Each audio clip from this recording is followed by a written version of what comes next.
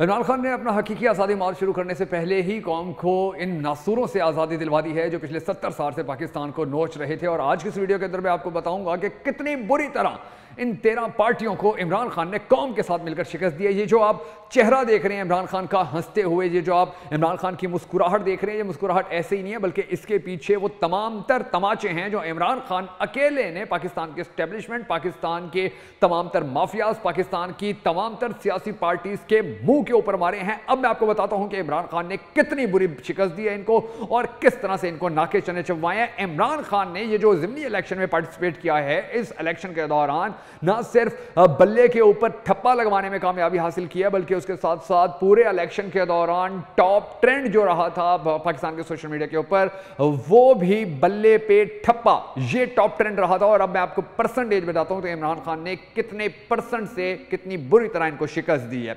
PTI ने इस सारे जिमनी इलेक्शन के दौरान 49.5 परसेंट वोट हासिल किए, उनचास पाँच फ़ीसद वोट हासिल किए। पीएमएलएन ने तेरह अशारिया छह फ़ीसद हासिल हासिल किए। पीपी ने बारह अशारिया आठ फ़ीसद हासिल किए। एएनपी ने आठ अशारिया नौ फ़ीसद वोट लिए जेयूआई ने छह अशारिया एक फ़ीसद। अब इन तमाम जमातों के जो वोट हैं, वोटों की जो परसेंटेज है, वो कुल मिलाकर इकतालीस अशारिया चार फ़ीसद बनती है। तमाम पार्टियाँ इकतालीस अशारिया चार फ़ीसद वोट हासिल करने में कामयाब हुई और अकेला इमरान खान, पाकिस्तानी कौम का सबसे बड़ा उम्मीदों का सहारा। उस अकेले ने उनचास अशारिया पाँच फ़ीसद वोट हासिल किए हैं। इन तेरह जमातों को इमरान खान ने जिस तरह दिन में तारे दिखाए हैं तो आप हैरान होंगे कि इस जिमनी इलेक्शन के दौरान टर्न आउट तीस अशारिया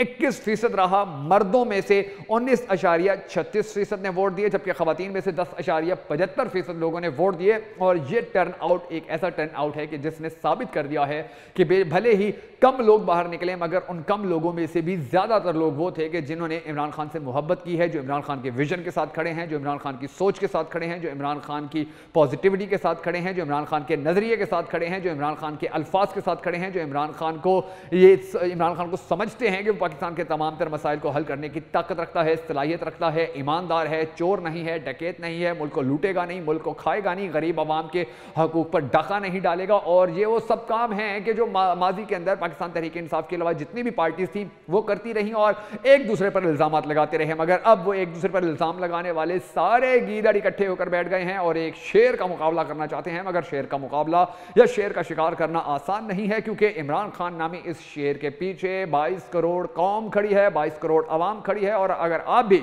इमरान खान के साथ खड़े हैं। अगर आप भी आखिरी दम तक इमरान खान को सपोर्ट करते रहेंगे, अगर आप भी आखिरी दम तक इमरान खान को वोट करते रहेंगे, अगर आप भी आखिरी दम तक इमरान खान के शाना बशाना रहेंगे, अगर आप भी आखिरी दम तक इमरान खान के विजन को आगे लेकर चलने की कोशिश करते रहेंगे, अगर आप भी आखिरी दम तक इमरान खान के नज़रिए के साथ खड़े रहेंगे तो इस वीडियो को पाकिस्तान के सोशल मीडिया के ऊपर ज़्यादा से ज़्यादा फैलाकर साबित कीजिएगा कि आप आज भी पाकिस्तान तरीके इंसाफ के झंडे के नीचे मुतहद हैं। आप आज भी तेरह पार्टियों की इकट्ठ से नहीं घबराए हैं। आप आज भी तेरह पार्टियों से खौफजदा नहीं है। आज आप भी, आप आज भी पाकिस्तान की बड़ी बड़ी ताकतों से, नज़र ना आने वाली ताकतों से परेशान नहीं हैं, उलझे हुए हैं उनके साथ अपने हक के लिए, अपने, अपनी आने वाली नस्लों के मुस्तबिल के लिए। और ये चीज़ साबित करेगी कि आने वाला वक्त पाकिस्तान तहरीक इंसाफ का होगा। या शायद एक मरतबा फिर उन्हीं सब लोगों का जो पिछले सत्तर साल से पाकिस्तान को दोनों हाथों से लूट रहे हैं।